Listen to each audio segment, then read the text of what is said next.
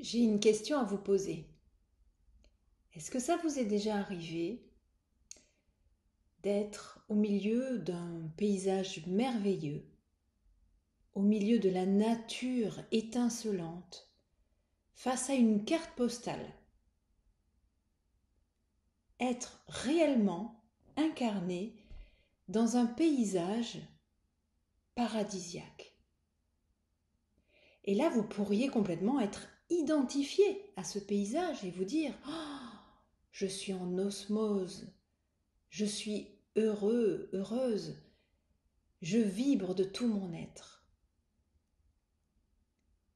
Et est-ce qu'il vous est arrivé à ce moment-là de vous dire mais je n'arrive pas à vibrer, je n'arrive pas à être heureux, je suis content ou contente d'être face à ce paysage, mais à l'intérieur de moi, il y a des pensées, des peurs qui viennent polluer, entacher cet instant.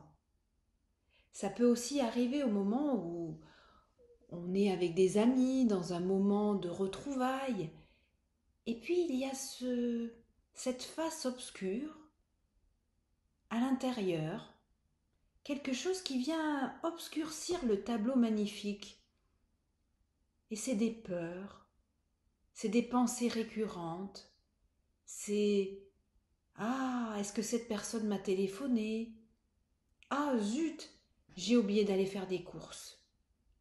Mince, il va falloir que je pense lundi à contacter le plombier.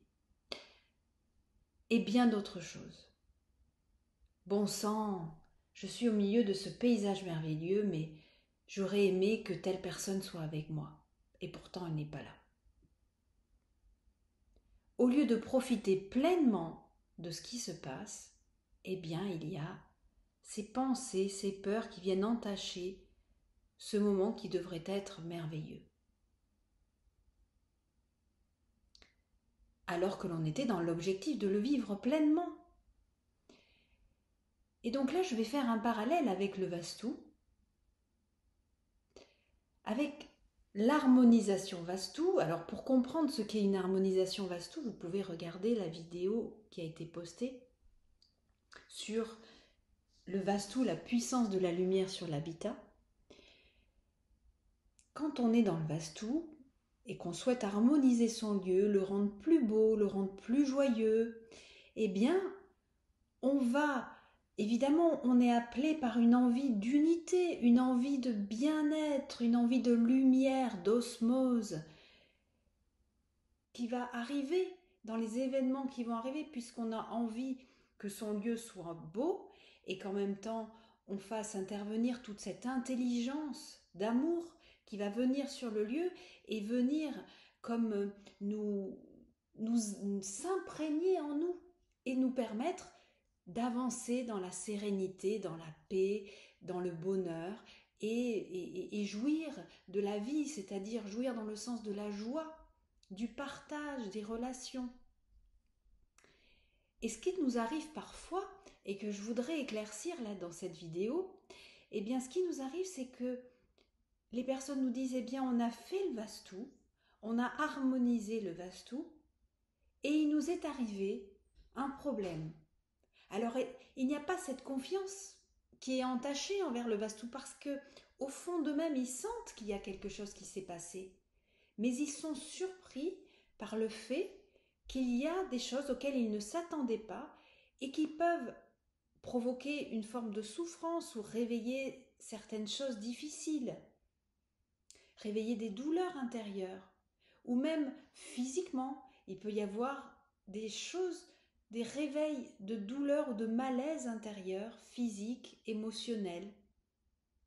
Il peut y avoir des dossiers juridiques, des dossiers familiaux qui ressurgissent d'un coup et qui peuvent créer des problématiques. Et donc là, en général, la personne ou les personnes qui nous ont euh, mandatés nous posent des questions et nous disent mais comment cela se fait-il que je crée cela et que presque dans une forme d'immédiateté en retour, j'ai telle ou telle difficulté qui vient à moi. Eh bien, jusqu'à présent, en fait, je répondais en disant oui, euh, en fait, il faut vivre cette épreuve parce que ça fait partie d'un karma, d'un nettoyage. Et je restais sur le terme nettoyage. Et là, aujourd'hui, j'ai envie d'approfondir. En fait, ce qu'il se passe, c'est qu'en vivant des épreuves concomitantes au Vastu, parce qu'en général, ça revient comme un boomerang. Quand ça doit arriver, ça arrive assez vite.